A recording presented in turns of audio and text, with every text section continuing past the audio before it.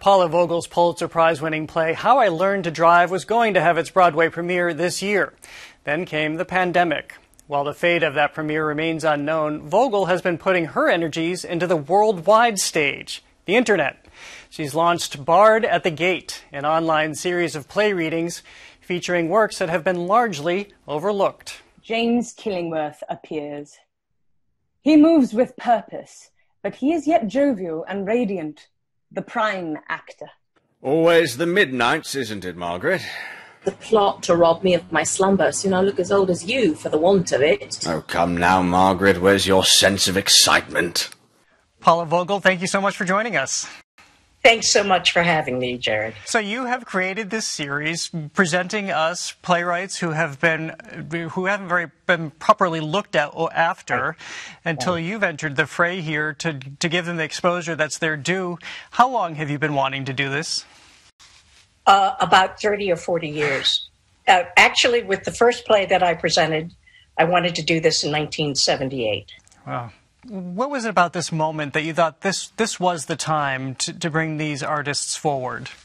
Everyone in my community loves what they're doing, making theater. And just the kind of ache that I felt not being able to go into the room, be with other people, watch a world being made, um, is, I think, as hard, almost as hard as the financial worry, as uh, the health worries. And so, for many, many reasons, for me, theater is still something that is important for me to do, but I want to do it as a producer. It seems to me that that's more important. It's just that being stuck in this aid role doesn't give me much of a chance, see? Even though I'm supposed to be one of the same ones, one of the ones close to authority. And yet, that's just it so close yet so far away. Kind of like I exist only in limbo, only in transit. Like all I can do is look at the script from the outside. Well, well, speaking of what you've done, the last time I spoke with you on this show, we were talking about Indecent, which it becomes truer and truer to our time every second.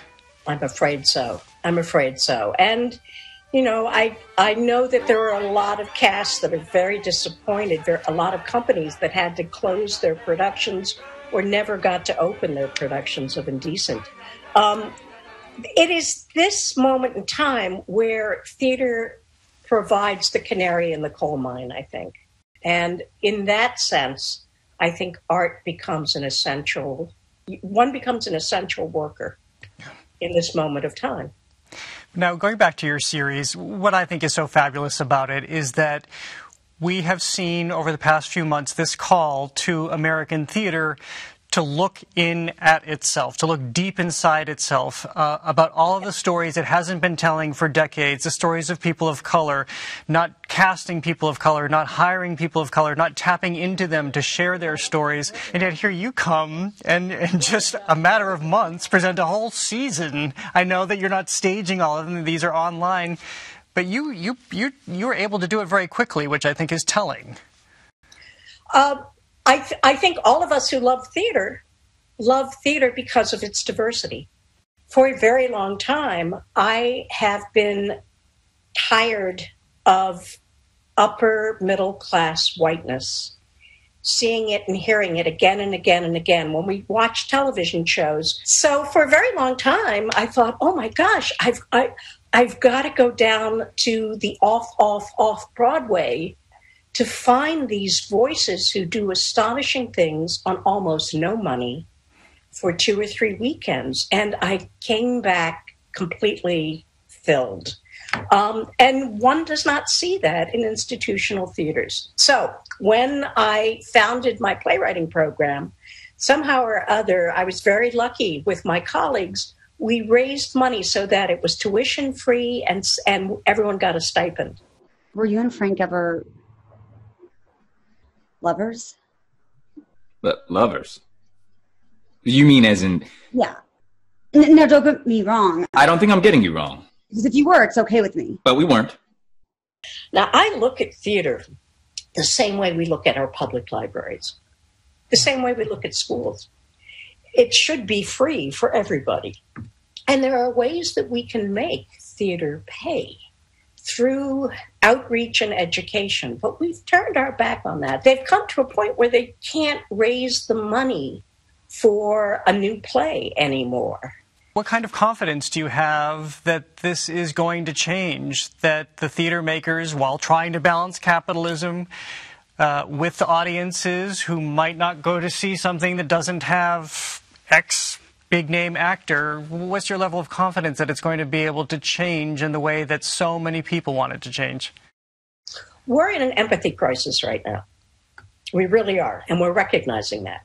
And that empathy crisis has led to incredible racial injustice that we're watching now every night on our television. How do we form empathy, regardless of one's skin color? You form empathy through participating in the arts as a child. You learn to draw. You learn to play an instrument. You learn to listen.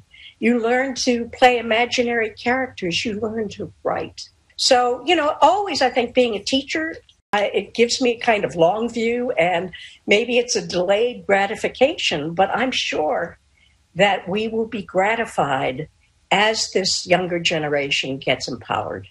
25 years I've lived the life of action and I have felt the theatre bend. Now it feels like to break. Mark me well, William. There is no end to theatre. You must have faith. Next up in your series is a play by Eisa Davis. Tell me quickly Yes. about that. I read Eisa Davis's Bulrusher. I've never seen this play. This is why I have to do this series, Jared. Um, I read it when I was on the Pulitzer jury, and it just blew me away. I felt so happy and hopeful, um, and he- that there is a healing that can happen in terms of racial division. By the time I got to the end of the play, I was weeping. She makes me walk in someone else's shoes. And to learn that love, to learn what it feels like to be perhaps the only young black woman in a small logging town is an extraordinary gift. And I think she does all three things uh, in an amazing way. Well, and we have to thank you for your part in that. Paula Vogel, I always love talking to you. Such a pleasure. Thank you, Jared, for everything you're doing. Seriously, every time I just, you know, I just want to get on and bless you. well, thank you so much. Well, I, again, I appreciate it. Have a great day. Thanks so much.